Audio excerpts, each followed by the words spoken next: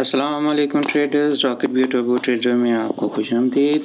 सबसे पहले risk warning this video is not an investment advice don't invest money you can not afford to lose and stay green आमीन अगर आपने अभी तक आई क्यू ऑप्शन का अकाउंट नहीं ओपन कराया है तो नीचे दिए गए लिंक पे क्लिक करें और अपना अकाउंट खोलें, हमें भी सब्सक्राइब करना ना भूलें।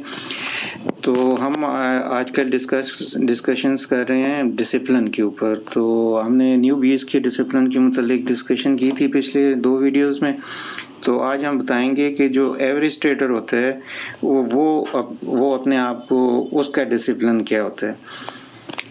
तो एवरेज ट्रेडर का मीडियम डिसिप्लिन होता है, यानी कि वो दरमियाने डिसिप्लिन में होता है। यानी कि न्यू बी न्यू बी जो होता है, जो बिगिनर होता है, उसका तो कोई डिसिप्लिन ही नहीं होता ना? एवरेज ट्रेडर जो होता है, जो दरमियाने, दरमियाना ट्रेडर होता है तो वो उसका उसका वो डिसिप्लिन उसका मीडियम होता है, दरमियाना होता है, ठीक है? और, क्योंकि उसने ऑलरेडी बहुत सारे पैसे वो लूज़ कर चुका होता है तो वो उसको कम अज़ कम इतना ही खबर हो जाती है कि भई अब मुझे कोई डिसिप्लिन करना पड़ेगा। अब समझ आइए कि वो रियल मनी पे लॉस कर चुका होता है, जिसकी वजह से अब वो थोड़ा बहुत डिसिप्लिन का पाबंद हुआ हुआ होता है। ये एवरेज ट्रेडर होता है। ठीक है? अब आँखें बंद करके वो हर काम नहीं कर रहा होता। थोड़ा बहुत सोचता, समझता है। उसकी दूसरी खसूसियत ये होती है कि वो हर ट्रेड के ऊपर ट्रेड नहीं करता। हर हर कैंडल के ऊपर ट्रेड नहीं करता। और कभी कभार जो है वो मतलब रिस्क ज़्यादा नहीं लेता ना। लेकिन हमेशा जो है वो लेटली एंटर करता है। जो एंट्री पॉइंट होता है, वो उसका लेट होता है।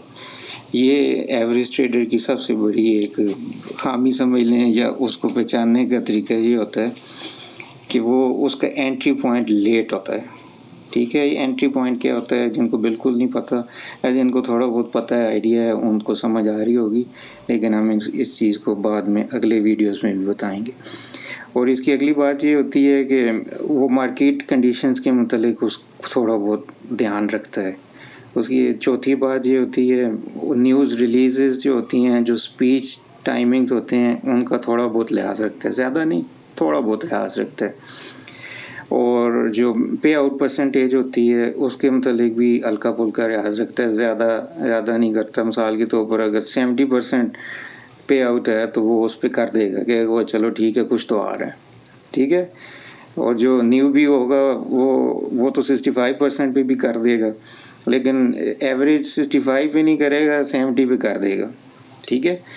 ये उसकी एक खसूसियत है। और इसकी अगली छठी बात यह है कि उसके, वो अपनी बेट साइज़ जो उसका मतलब एक रुपये की लगानी है या दो रुपये की ट्रेड लगानी है, उसको वो ज़रा ध्यान से लगाता है। और कोई हल्की फुल्की उसने अपनी मनी मैनेजमेंट की होती है।